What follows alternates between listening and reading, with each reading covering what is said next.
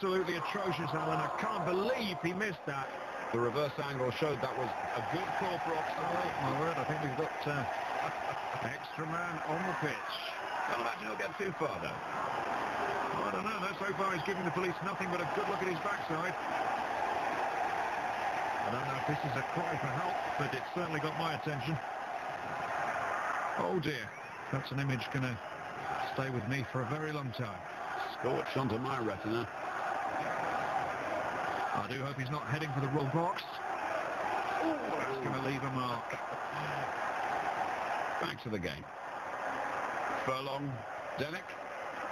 Oh, we have contact. Looks like he has more souvenirs for the crowd. I think he's got the shoes to thank. A minute ago they were all chanting who had all the pies. I think there's your answer. and he's off like a bull with gas.